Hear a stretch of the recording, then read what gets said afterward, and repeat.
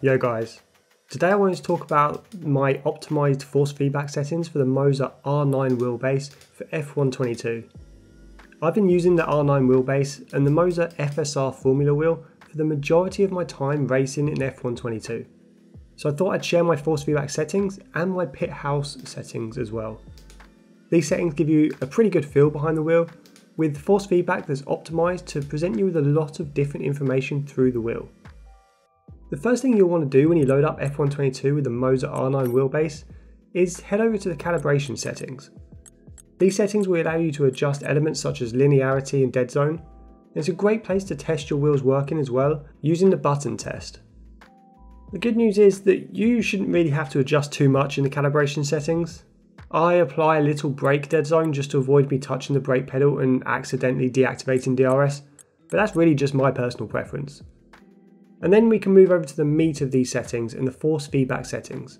And this is where the majority of the fine tuning for the force feedback will happen. So looking at the force feedback settings, the first thing we need to do is ensure vibration and force feedback is turned on. Without it, we simply won't get any force feedback at all, so turn that on. Then I set my force feedback strength to 95. I remove this away from 100 a little bit just to eliminate any clipping that may occur from turning the force feedback up too high. Next up, I set the on-track effects to 40. This will amplify effects such as road surface imperfections and bumps in the road. If you're getting too much vibration in your wheel when driving on track, you can reduce this setting. Then I set the rumble strip effects to 35. This should always be lower than your on-track effects as the rumble strips can really vibrate your steering wheel quite aggressively. Don't lower it down past around 25-30 though, otherwise you won't really feel the difference between the track and the curbs. I've lowered the off-track effects even further down to 30. This will limit how aggressive the grass and the gravel are when you go off track. Lowering this setting will make it easier to recover your car if you overshoot a corner. The wheel damper, this adds a level of weight to your steering wheel. If you go too high with this setting, your wheel will feel sticky and too heavy. Around 20 with this setting feels just about right. You get a good feeling of weight in the wheel without it feeling too sluggish. Then I keep understeer enhanced turned off this setting will make your steering wheel feel incredibly light when you start to understeer, and I'd recommend turning this on while you're learning the limits of the car. Then turn it off once you're comfortable that you can detect understeer. Then for wheel rotation, keep this set to 360 degrees for the F1 cars and 900 degrees for the supercars. Then to really nail the feeling of force feedback from your Moza R9 in F1 22, you also need to tweak some settings in the Pit House software. This software is included with the wheelbase and you can adjust a variety of settings here, including the colour of your shift lights and how fast they light up. But the force feedback settings in the Pit House software can dramatically change how your force feedback feels. There are a variety of presets available in the basic settings of Pit House, which will make wide sweeping changes. These are good for jumping between different styles and games quickly. But I'd recommend copying these settings to really optimize your force feedback. Starting with the steering angle, we set that to 360 degrees to align this setting with the in-game setting. Keep road sensitivity set to 10 to allow the full range of road detail to be translated. Then set your game force feedback intensity to 100%. This can be used as a global strength controller, so if you'd prefer lighter force feedback, you can turn this slider down and it will affect every other setting proportionally. The maximum speed of steering wheel can be set to around 60%. This affects the speed that the wheel can return to centre and how fast it will move. 60% is just about right with this setting. Too high and the wheel will just move too fast. For F1 22 in particular, I set the mechanical back to centre strength to 0%, as this is really unneeded. Then the mechanical damping works in tandem with the in-game wheel damping setting.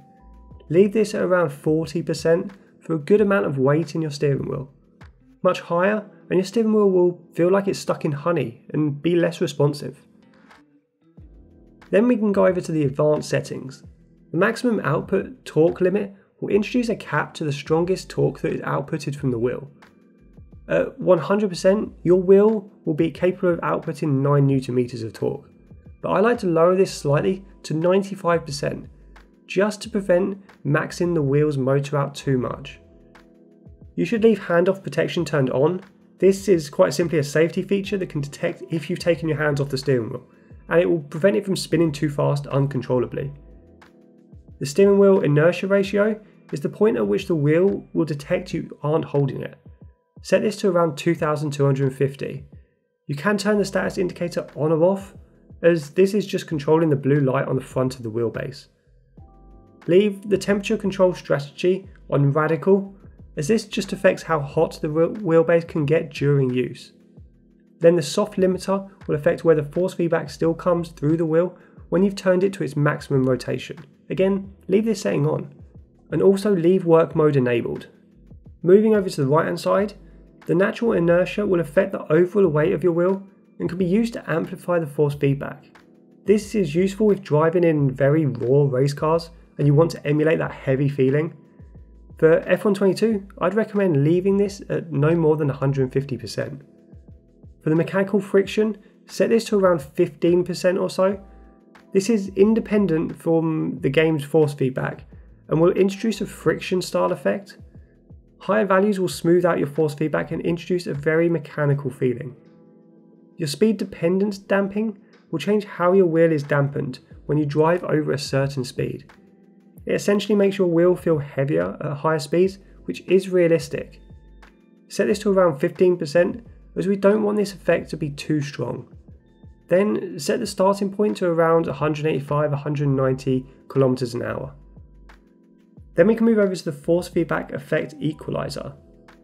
This gives you even deeper levels of control over specific vibrations and frequencies in game. You can really tinker with specific feelings that you get from the wheel. To adjust these settings, simply move along the frequencies along the bottom and either drag the sliders up or down to increase effects within that frequency range. For lower frequencies such as body bumps and slow speed curbs, I kept the slider to around or just over 100%. For ABS vibration and higher speed curves, I've increased the effect to around 150% to make these effects more pronounced. Then I've lowered the higher frequencies to around 20%.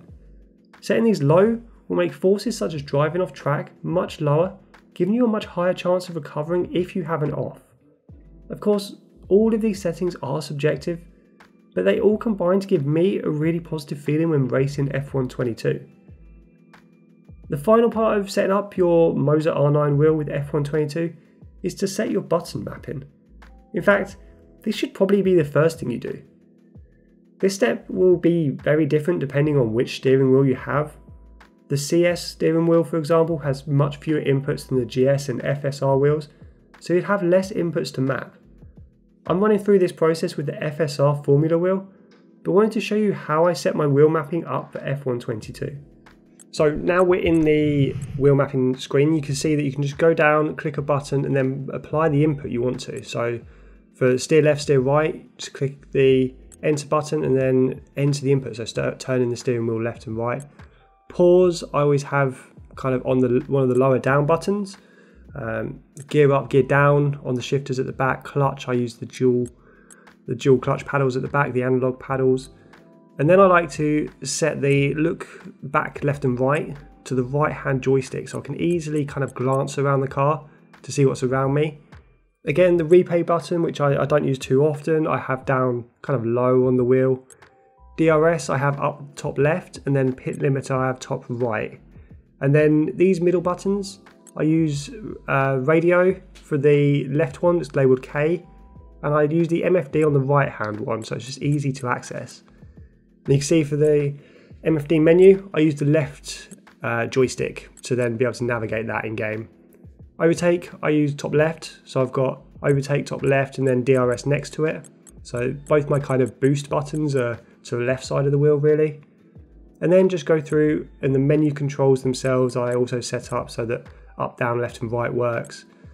I also set the extra actions to the top three buttons on the left hand side because then when you're in a session you can press the furthest left button, the one that's labeled DRS, to kind of jump into your monitor. You can press the middle button, the one that's got box written on it, to bring up car setups and open that. And then S1 will also do some actions.